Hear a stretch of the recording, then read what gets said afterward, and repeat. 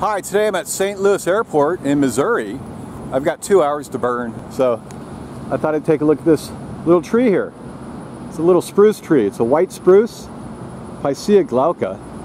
He's a little guy. And he grows up in Alaska, Canada, like the northern temperate states like Minnesota, Vermont, Michigan, New York. Also goes by the names of Canadian spruce, skunk spruce, cat spruce, western white spruce, Alberta white spruce, and a few other names. So uh, glauca, kind of gray, green little leaves, okay? And sometimes they have tiny little stripes on them at the very bottom.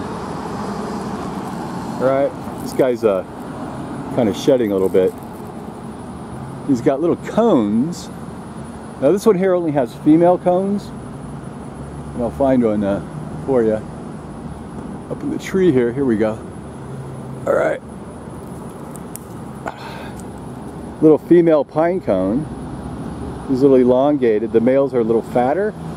He's got uh, lots of these little scales on him. And sometimes if they're uh, not fertilized, I don't think these guys are fertilized, they just kind of fade away on the vine or on the uh, leaves here or the twigs. Okay?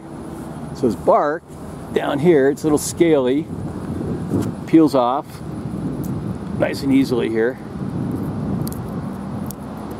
He's got little squarish patterns on the bark. This fellow's been pruned a lot otherwise he'd be uh, you know he'd be uh, branching out a lot wider. So what else do we know about this guy here? Well, he grows about 50 to 100 feet tall. He can even grow up to 130 feet tall out in the wild. And the crown of the tree down here, well, they're pretty narrow in the younger plants, and they get a little uh, buffier in the older plants, of course. Now, sometimes they're uh, this buff brown and sometimes they get a little different color as well. Okay, what else we got here? Well, talked about the cones. I wish there was a male cone here. There's a bunch of uh, cones right here. You can tell. Okay, but uh, the real cool thing, it's got just really tiny spruce needles here coming out and they come out as individuals, they don't come out as batches, like all stuck together, like you find like a pine tree. So you pull it off.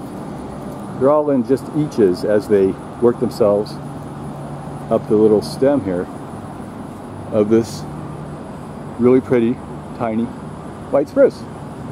Picea glauca. All right, that's all we need to know. Thanks for watching. Bye.